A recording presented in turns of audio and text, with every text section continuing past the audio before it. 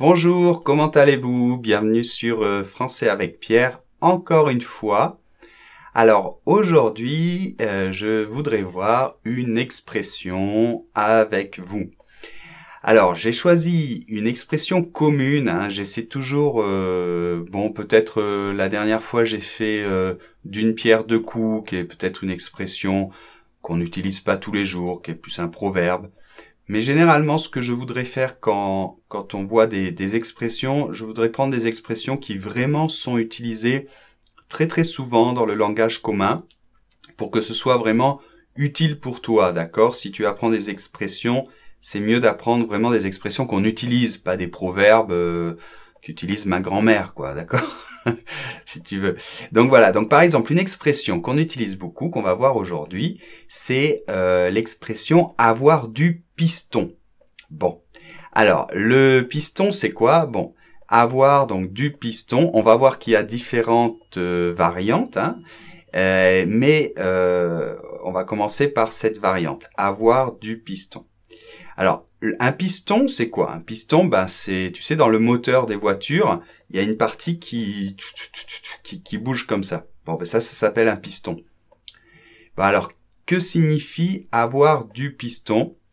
Ben ça signifie, par exemple, dans un travail, euh, si vous avez du piston, c'est que vous avez eu, par exemple, un poste de travail important ou bien euh, grâce à un ami ou euh, de la famille, enfin, quelqu'un vous a aidé et vous a aidé à parvenir à obtenir ce poste plus facilement, si vous voulez. D'accord? C'est de l'aide, euh, de, de l'aide euh, un petit peu euh, différente que par rapport au chemin normal que les autres personnes vont suivre. Ok?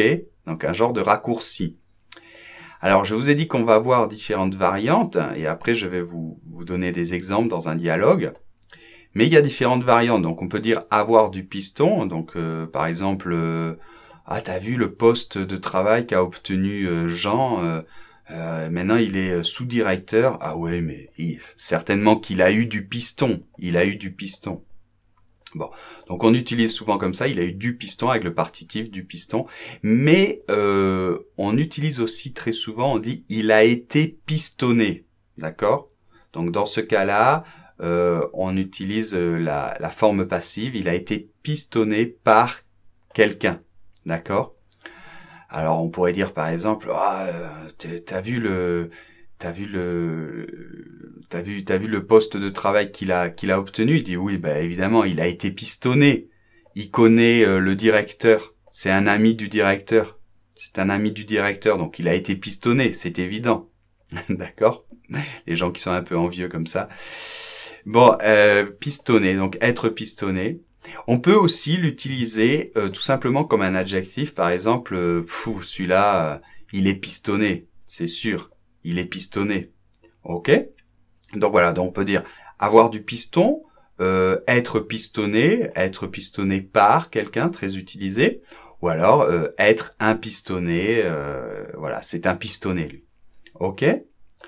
Donc, euh, donc voilà, c'est une expression vraiment, euh, vraiment euh, très, très utilisée dans le dans le monde du travail. Alors, je vais faire un petit dialogue, on va dire, avec les les, les trois façons. Donc, je vais reprendre le thème du travail. Ça peut être dans un autre contexte que le travail, hein, mais généralement, c'est dans le travail. Hein. ah donc tu as vu David, il est passé directeur marketing dans l'entreprise. Bah oui, mais évidemment, euh, c'est un pistonné, euh, tout le monde le sait. Ah bon, euh, c'est vrai, mais pourquoi? Mais parce que il connaît un ami, très, un très bon ami du, du directeur.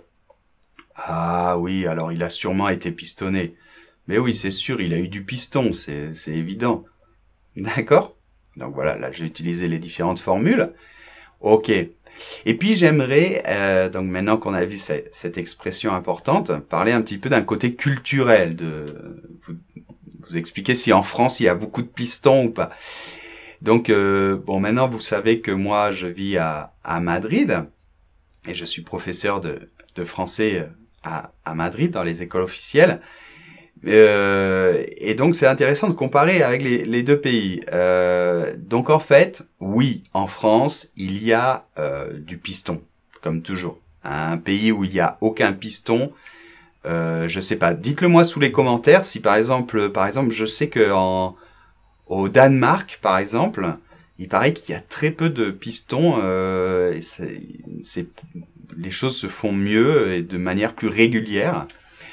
Ou euh, dans certains pays nordiques, par exemple, les choses sont plus régulières euh, et il y a moins de pistons.